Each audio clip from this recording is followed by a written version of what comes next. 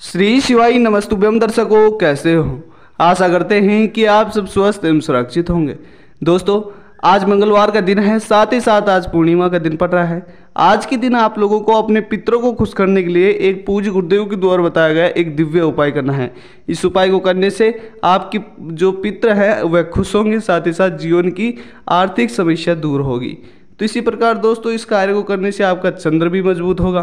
तो इस उपाय को आप लोगों को अवश्य करना है, लेकिन अभी तक चैनल को सब्सक्राइब नहीं किया तो जल्दी ही चैनल को सब्सक्राइब कर ले। चलिए वीडियो को शुरू करते हैं। दोस्तों, आप लोगों को आज मंगलवार पूर्णिमा के दिन दोपहर के समय मात्र एक पीपल का पत्ता लेना है, एक पान का पत्ता लेना है।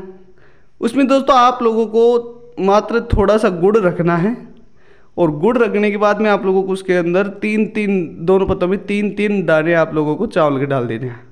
फिर उसे पीपल की जड़ में जाकर आप लोगों को रख देना है और एक लोटा जल अर्पित कर देना है।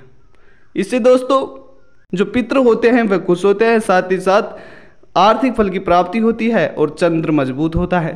तो इस उपाय को आप लोगों को दोपहर के समय पूर्णिमा के दिन, यानी कि आज मंगलवार पूर्णिमा के दिन अवश्य ही करना है। बहुत ही कारगर सिद्ध होगा। वीडियो अच्छी लगी, वीडियो लाइक करें, चैनल को सब्सक्राइब अवश्य करें।